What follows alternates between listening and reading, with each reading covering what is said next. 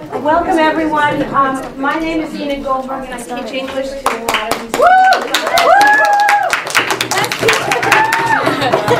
And some of you have heard this lecture before in class, or parts of it, Reppin'. and um, others have not. But what I'm going to talk about is anti-Semitism in Shakespeare, and if he is anti-Semitic, what are we doing teaching it in Jewish school? Uh, but I have a lot more things to say before we get to that subject. Um, first of all, if anyone is under the impression that anti-Semitism in literature happened a long time ago and far away, you know, I hope to change your mind right now. For me, the big moment of truth came not when I was your age in high school. Um, at that point, I thought that nothing was really anti-Semitic in literature. Here and there, there would be a reference, but it was long ago and far away.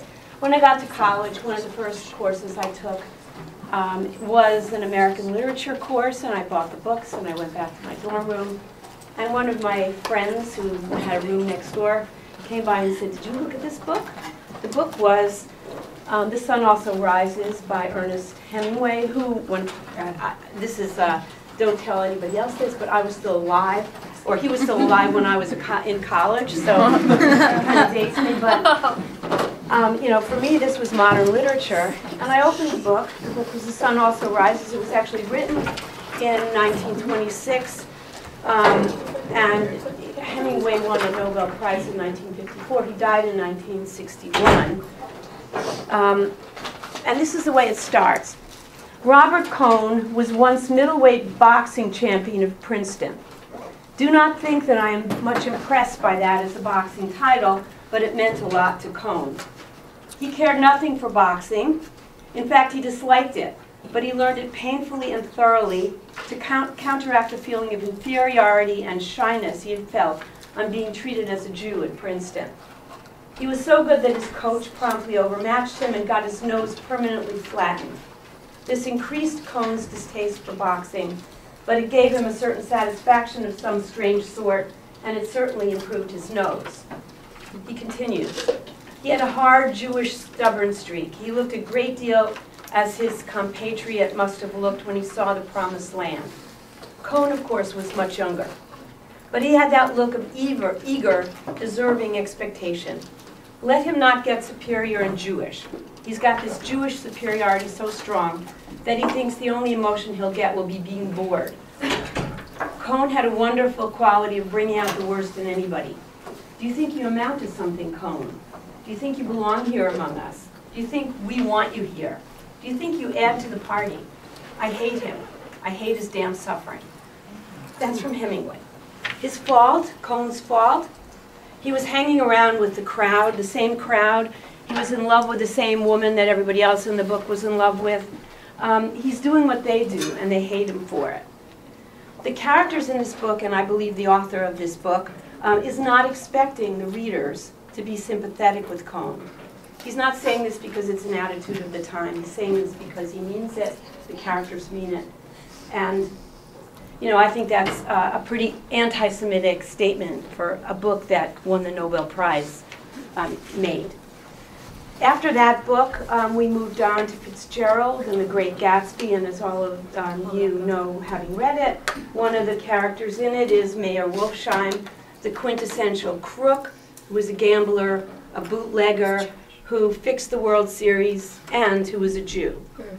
The list goes on. Dickens and his creation of Fagin in Oliver Twist. He, he, Fagin is an evil Jewish uh, thief who made a home for runaways and orphans in London's Cheapside. He taught them how to pick pockets and then he took their spoils in return for feeding them and clothing them and sheltering them. Um, he's not the worst of the anti-Semitic characters. He has a kind streak, but he's also a villain. Um, and a century later, closer to home, a book by a Jew, Philip Roth, um, Goodbye Columbus, was about Jew New Jersey Jews, um, among them Neil Klugman, a poor Jewish boy, and Brenda Patimkin, a pampered rich Jewish girl. And they were unattractive stereotypes. So this, this trend uh, or you know, uh, anti-Semitism is present in, in fiction even today. But the most vicious, by far, were the authors that were um, revered the most. First, there was Chaucer, who wrote in the um, late 1300s, and one of his characters, the prioress in the Canterbury Tales, was um, he makes fun of everybody, and he made fun of her as well. But she was depicted as being um, very delicate, very um, sensitive. If a dog was beaten, she would weep. And um, yet, her tale, when it came time for her to tell a tale, was a vicious anti Semitic screed told about a Christian boy killed by evil Jews for singing about the Virgin Mary. And the townspeople self righteously kill the Jews in a parody of a pogrom. Um, this is Chaucer, our very Chaucer, whom we study. And then there was Shakespeare, the Bard of Avon. Um, let me just back up a second. Shakespeare and Chaucer wrote at a time when there was not a single Jew living in England. Before the end of the 13th century, King John and his later son Henry III had tolerated Jews for their wealth. They drained them of their wealth and then welcomed Italian Lombards to fill the economic gap left by the Jews after the Jews, all the Jews' money was given to the king. And then the kings had no more use for the Jews. So they expelled them from England in the year 1290 under King Edward I. Um, there only were about 16,000 Jews in England, but they were expelled. Most of those Jews went to France, and on the way, they, a lot of them were murdered, um, robbed and murdered. 16 years later, they were expelled from France. In 1492, they were expelled from Spain. Then they were expelled from Portugal, you know, hence the Wandering Jew. Um, they didn't return to England until Oliver Cromwell invited them back in 1652, but they still were disliked. Anyway, during Shakespeare's time, um, there were no Jews in England. And we need that as a, you know, to, to understand or to at least be upset about what he was about to do. Um, during Shakespeare's lifetime, or around that time, there was a Jew suspected of trying to kill um, Queen Elizabeth I um, on behalf of Spain. Um, he was innocent. There was no real proof that he had done anything wrong. Um, nobody did kill uh, Elizabeth, but he was executed anyway. And the playwrights, Shakespeare and his contemporaries, among them Christopher Marlowe, um, although they knew no Jews firsthand, did probably know this story, this false story, and they probably, you know, believed it.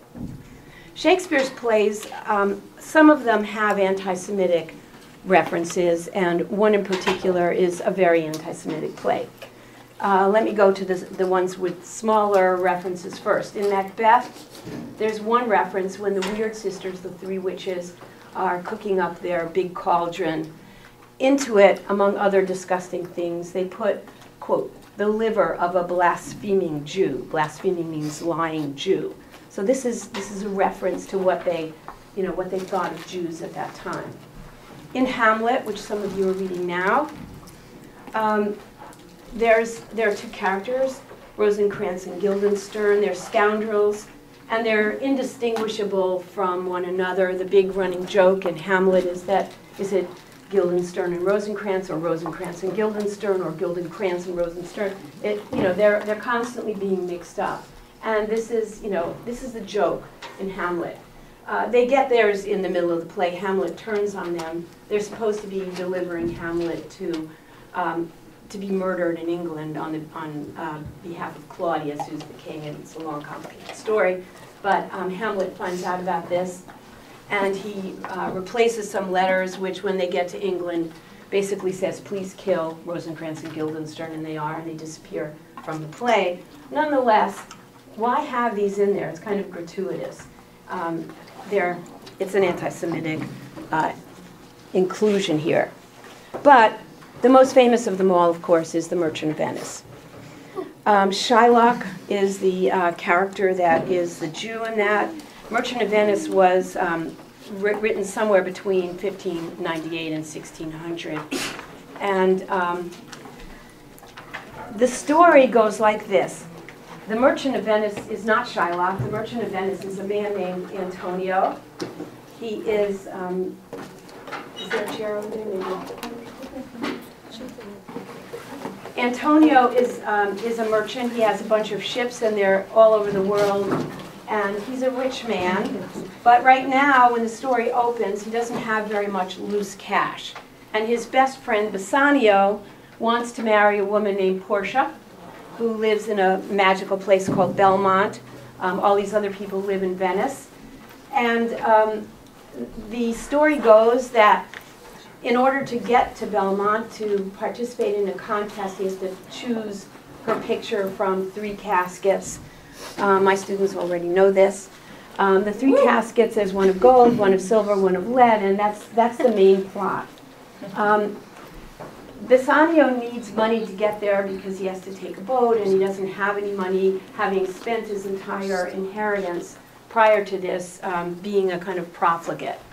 Um, so he asks his friend Antonio for the money, and Antonio doesn't have loose cash, but he has secured. He has a bunch of ships, and they're supposed to be coming back to Venice from all over the world with um, cargo that will make him rich.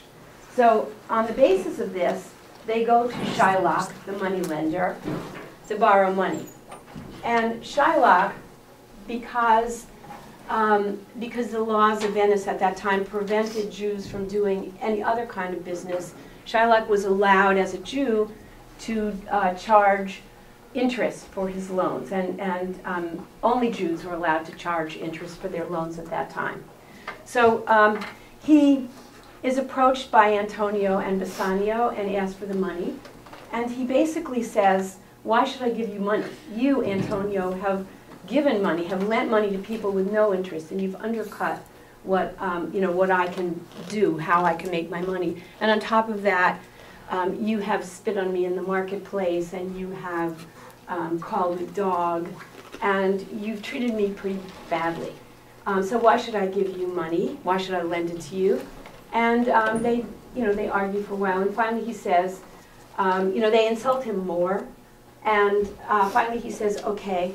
I'll lend you the money, um, and I won't even charge you interest for it. And he starts making a joke of it, and he says, what I'll charge you instead is a pound of your flesh. So he, um, you know, they, they, the Christians, Antonio Bassanio, treat this like a joke. First they're a little stunned, but then they say, well, he doesn't mean that, you know, it's a joke. What he means is he's going to just give it to us.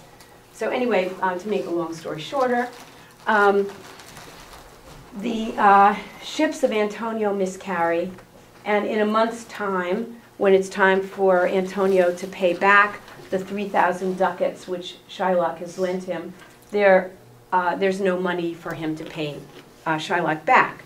So the question is, does Shylock um, take the pound of flesh or not? Um, before I get into that, in the meantime, um, uh, Shylock has a daughter named Jessica who is interested in a Christian man named Lorenzo. And um, we'll get to that in a minute. Anyway, Shylock, uh, Shylock is, finally brings this case to court after Antonio defaults on his loan. Um, he brings the case to court and he says, uh, you know, what can I do about this? Meanwhile, Bassanio has been successful in his suit to marry Portia, and she says to him, look, I'll give you money um, you can pay back Antonio's uh, debt. So all this is going on in court, and Shylock says, no, um, I don't want the money from anyone else. He defaulted, the date is come and gone, I want the pound of flesh. And they say to him, the Christians, um, you know, what good is it? And uh, Shylock replies the following, to bait fish withal. It will feed nothing else, it will feed my revenge. He hath disgraced me and hindered me half a million, laughed at my losses, mocked at my gains, scorned my nation, thwarted my bargains, cooled my friends, heated mine enemies, and what's his reason? I am a Jew. Hath not a Jew eyes? Hath not a Jew hands, organs, dimensions, senses, affections, passions? Fed with the same food, hurt with the same weapons, subject to the same diseases, healed by the same means, warmed and cooled by the same winter and summer as a Christian is? If you prick us, do we not bleed? If you tickle us, do we not laugh? If you poison us, do we not die? And if you wrong us, shall we not seek revenge? If we are like you in the rest, we will resemble you in that. If a Jew wrong a Christian, what is his humility? Revenge. If a Christian wrong a Jew, what should his sufferance be by Christian example? Revenge. The villainy you teach me, I will execute, and it shall go hard, but I will better the instruction. And for Shylock, it does go hard. His daughter Jessica, around this time, betrays him, steals his money and his jewels, including a ring that his wife gave him, and ran off, runs off with Lorenzo the Christian. Um, and there's a, an interesting scene here. The cruelty of this betrayal on his daughter's part um, is, is so unfeeling that she takes the, the ring that um, the wife of Shylock, who's deceased, has given him and sells it to buy herself a monkey. And he says, I would not part with this ring for you know, thousands of monkeys. And how could my daughter do this? So things are going hard for him. Then, in the middle of this court scene, Portia, um, the, the woman who uh, allowed Bassanio to marry her because he won, he picked the right casket, um, comes to court disguised as a lawyer. She and her, her uh, lady in waiting come disguised as a lawyer and his assistant, and she outwits uh, Shylock. She says, first she says she tries to reason with him, and she has a famous speech here too. The quality of mercy is not strained, it droppeth as the gentle rain from heaven upon the place beneath. It is twice blessed. It blesses him that gives and him that takes. And what she means by this is the, um, the legal right is yours to take the pound of flesh. But of course, you know, that's not going to be good for Antonio. So be reasonable, be merciful, allow him his life, allow somebody else to pay the fine for him and Shylock still refuses. Um, he doesn't uh, want to do this. He wants his pound of flesh, but now he loses because being a comedy, um, well, let me get to that in a minute. What happens is that um, Portia says, okay, you're entitled to your pound of flesh, but you're not entitled by this contract that you signed to one drop of blood. So if you shed a, a drop of blood, you, um, you have to be killed for it if you kill Antonio in the process, you, you're killed for it. And on top of everything, um, even if you, at this point, even if you change your mind, um, you have insulted a Christian, and, and the penalty for threatening a Christian with killing him is death.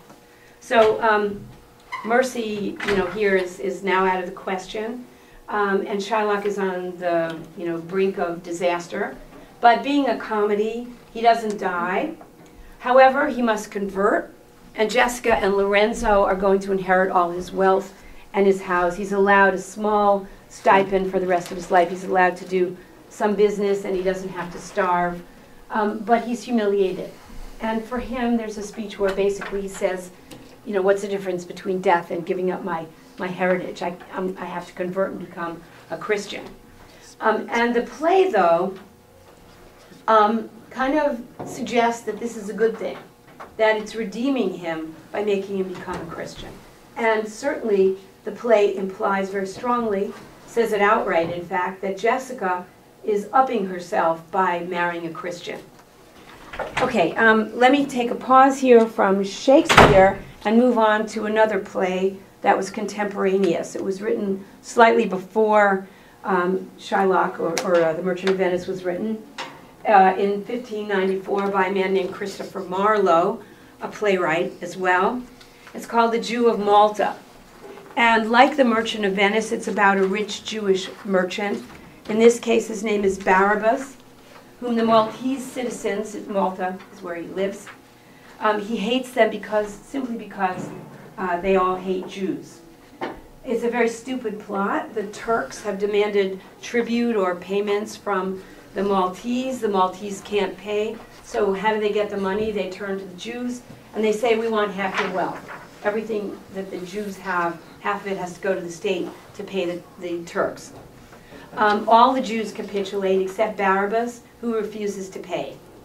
Um, everybody else is afraid of the government, so they pay. then the Maltese, in retaliation, take everything from Barabbas as a, as a punishment, his money, his house, and he, they then insult him as well. They say Jews have hateful lives and he's accursed in the, in the sight of heaven. Um, the play goes from there to worse. Uh, it becomes a free-for-all murder fest.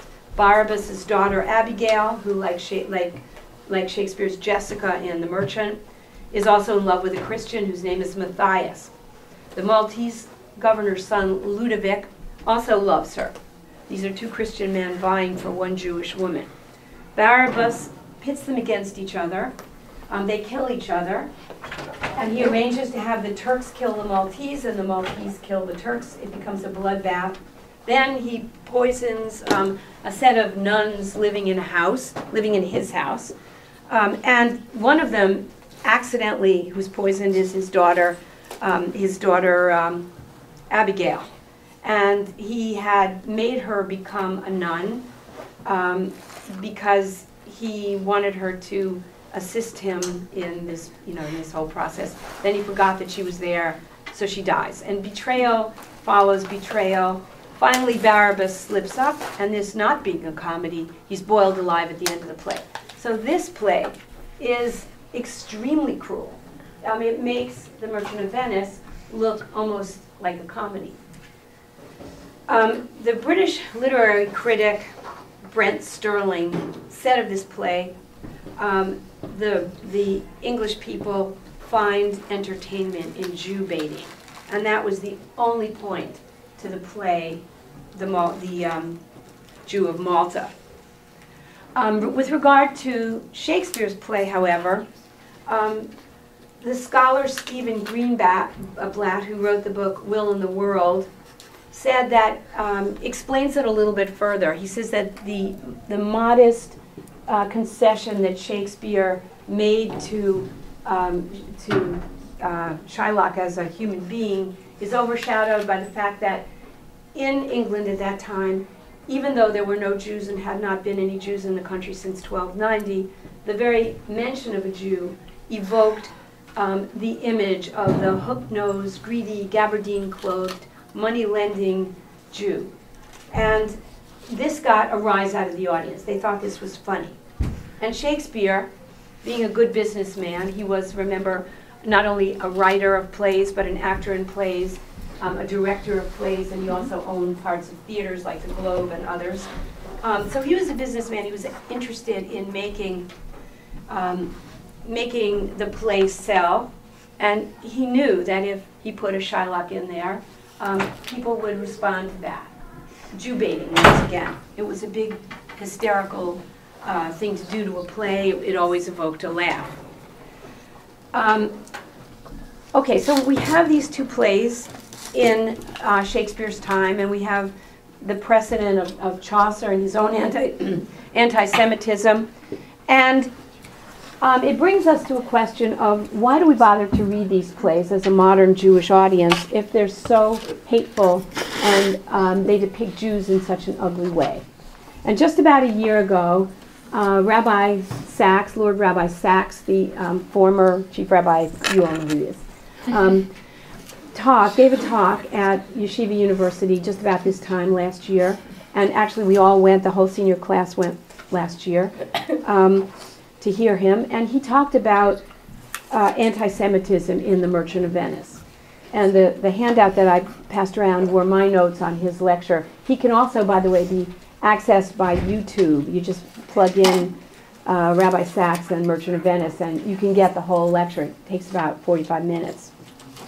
Um, and he had some answers to why we bothered to. First of all, he had some comments on Shakespeare and Merchant of Venice, and also some answers as to why we bother to read him.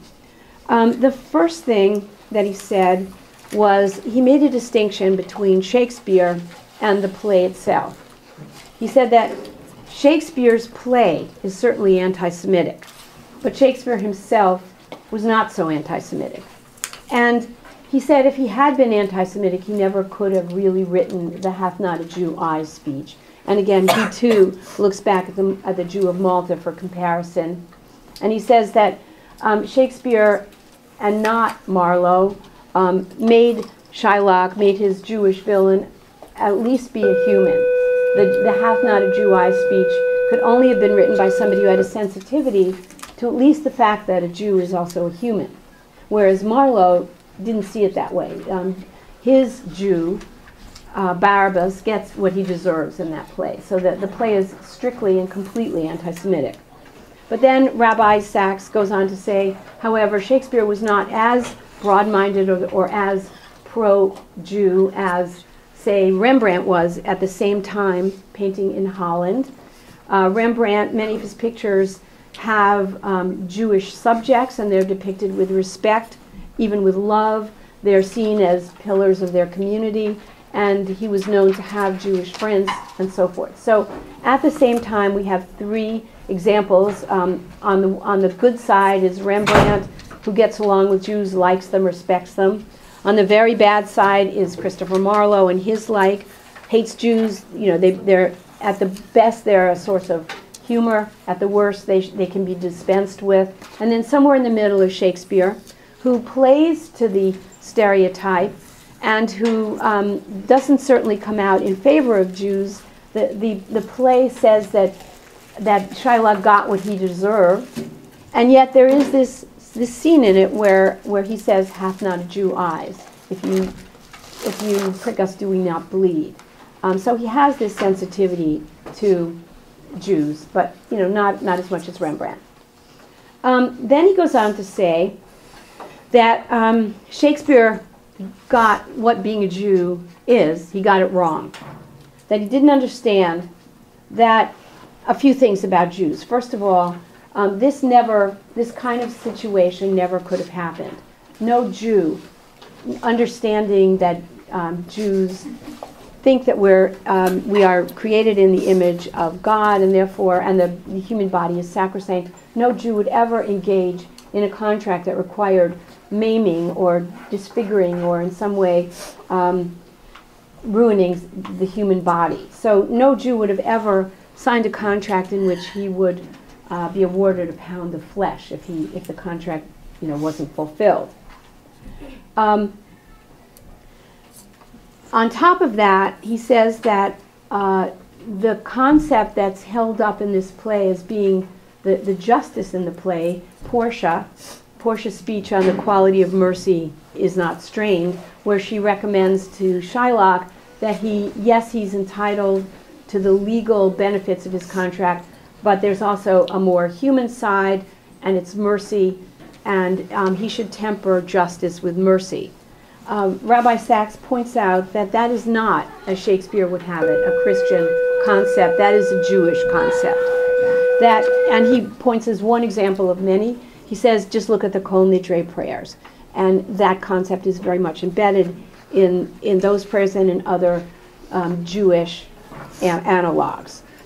And then he says, um, before he gets into the question of why we should read this stuff, um, he starts talking about the Jewish reaction to it. And he says that he asked the question how have we, as Jews, been able to overcome the stereotype to which Shakespeare succumbed? That we, uh, Shakespeare swallowed the stereotype. Why don't we, why aren't we as a people more affected by it? And then he says that it's a miracle that in fact we never internalize that self image. Instead, we define ourselves according to the belief that we are loved by God and therefore can remain impervious to assault. He points out that when Jews assimilate, they tend to begin to define themselves according to the, the Christian stereotypes. And therefore, they begin to abandon everything that makes us different and distinctive. He points out that this is what's tragic. Not only there in that situation do we lose our own support group, uh, when we shed our identity, but we are not accepted into their group either. And then when tyrants come to destroy Jews, they include assimilated Jews as well. And he repeated that the miracle is that we have not internalized the negative self image, that although we have lived among Gentiles, we do not define ourselves in that way. He goes on to say that the merchant underlines the tension between Judaism and art. He asks what makes what art when art makes a case for something repellent, how do we approach this? Do we watch Merchant, which exemplifies the myth of anti Semitism? Do we play the music of the notoriously anti Semitic Wagner or read the works of Heidegger, all of whom are anti Semites? And he says that the answer is this while Shakespeare couldn't overleap stereotypes, Jews can. Even in our own literature, we can overcome stereotypes. We have a humanitarianism, humanitarianism that sees even our worst enemy as worthy of sympathy. We can sympathize with Esau. We understand that although Egyptians have historically become been our enemies, it was Pharaoh's daughter who saved Moses. And while, while Merchant is technically a comedy, it's a dark comedy. Like most of Shakespeare's comedies, um, it's tinged with tragedy, just as most of his comedy, most of his tragedies have some comic relief as well. And he continued by pointing out that there is no Hebrew word for tragedy. Hebrew has instead adopted the Greek word um, for tragedy. Jews don't see the world as hopeless, and there can be no tragedy in a world that contains hope. Misfortune, yes. Hopelessness, no. Art, as we see it, said Rabbi Sacks, and as Shakespeare partially saw it, though he could not fully overcome the stereotype, is lit by the quality of mercy. Jews see that art, as well as life, is built on, on a morality comprising justice and love and hope. And so we continue to read Shakespeare, we continue to read Chaucer and Dickens and Hemingway and Philip Roth. And then once in a while we come across a writer such as the contemporary writer, uh, British novelist um, Kazuo Ishiguro, who has written, who wrote in 1988 a book called The Remains of the Day, um, which won a Man Booker Prize, a very distinguished literary prize, who's on our side. And we rejoice and we continue to hope. That, that's his message. And it's also, I think, the message of, of why we still teach this. Um, I think that when we teach books like The Merchant of Venice and we parse them and understand what was going on in the minds of the people who hate us, we're stronger for it. I think that we, um, we can combat stereotypes if we understand them. And like Rabbi Sacks, we can still have hope. Okay. Um, I've done a lot of talking. Um, now let me open up questions. There'll be a test on this tomorrow. I took notes, so it's fine. Okay, good. Questions? Um, which was written first? Not even Uh, kidding. Jew of Malta. Jew of Malta? Jew of Malta. By, not by much. I, I think it's 1594 versus 1598. But it's in the air. They were contemporaries um, with a lot of other playwrights. And um, interestingly, the Jacobean plays, which happened after 1603, after Elizabeth died and James I becomes the king, became even more bloodthirsty. So the Jew of Malta was not even as bad as it gets after um, James came in because he was a very bloodthirsty and, and superstitious king. So if you look at Shakespeare, yeah, Uh, hold by the fact that um, Christopher Marlowe wrote some of Shakespeare. Uh, You know, Out of that, of okay. that, uh, they're, they're, uh, the, the playwrights during Shakespeare and Marlowe's time, including Kyd and a, you know, a number of others, and there's a dozen that we still have, um, worked together on a lot of plays. A lot of them co-owned the theaters. They they intermingled. What we think of as the Merchant of Venice, we're pretty sure is really Shakespeare. Did he get a couple of ideas from Christopher Marlowe? I don't think he needed those ideas. I think they were in the wind. There was certainly anti-Semitism. Um, this, this plot to kill Elizabeth was very much a part of their life. They certainly knew that. Um, I don't think he needed Christopher Marlowe. Um, uh, you know, he probably knew of the Jew of Malta, but he didn't copy the Jew of Malta. His play is very different. And it's interesting that his main plot is one, his main plot is the Belmont plot, the, the, uh, the plot where um, Portia has her three caskets and is looking for a husband. That's such a stupid plot that nobody even, you know, when you think of the Merchant of Venice, you never think of that plot. You, you think of Shylock and what happened to him, because he's interesting. And um, it's also interesting that when people first read this play, they immediately assume that, um, that the Merchant of Venice is Shylock, but it isn't. Um, yes? Oh, me? Yes. I thought the plot was the trial.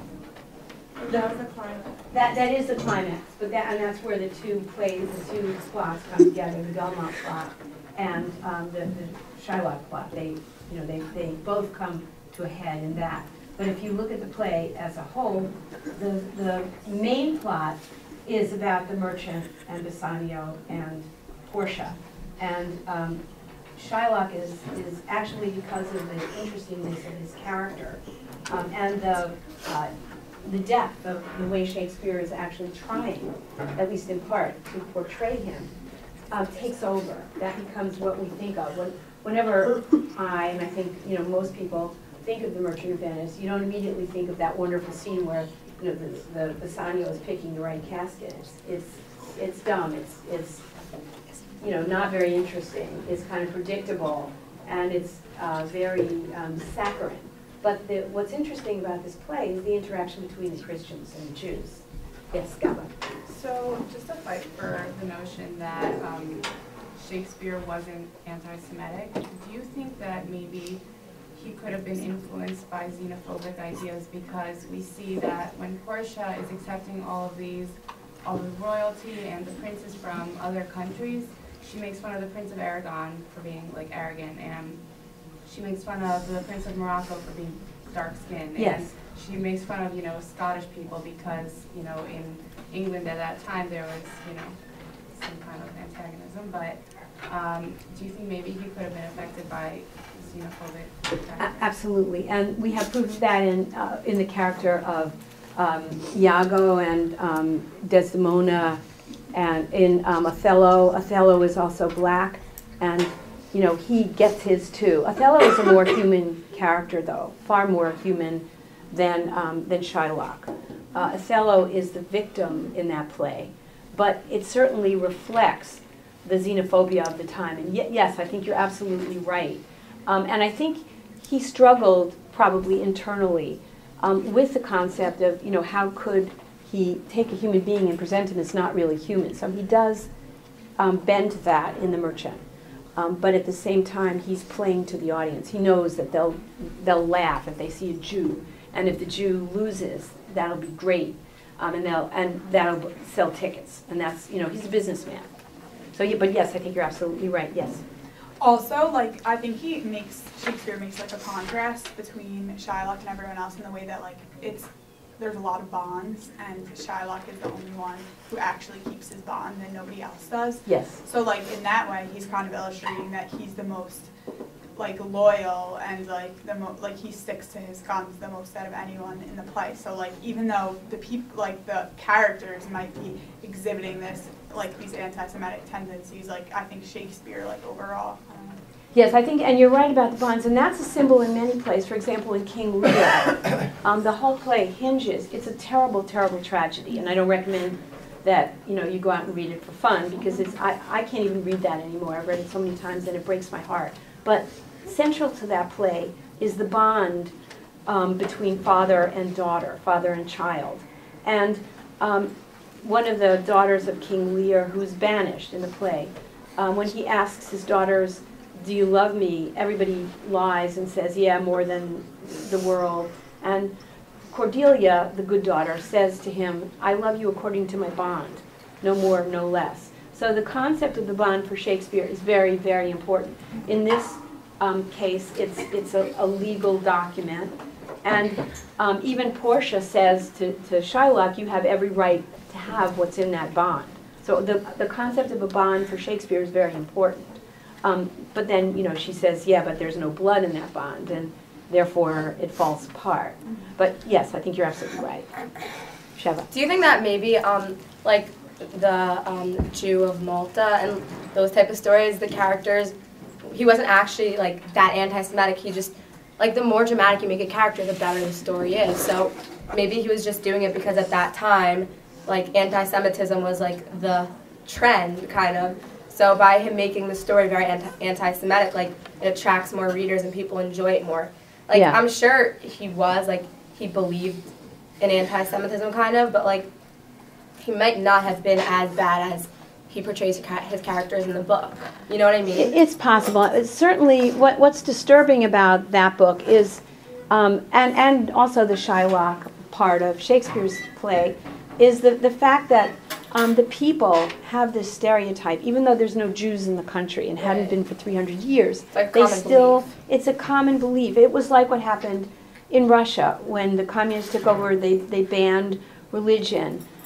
For 70 some odd years, whatever it was, when the wall came down, the first thing that came back was anti Semitism. You know, nobody was a Jew then legally.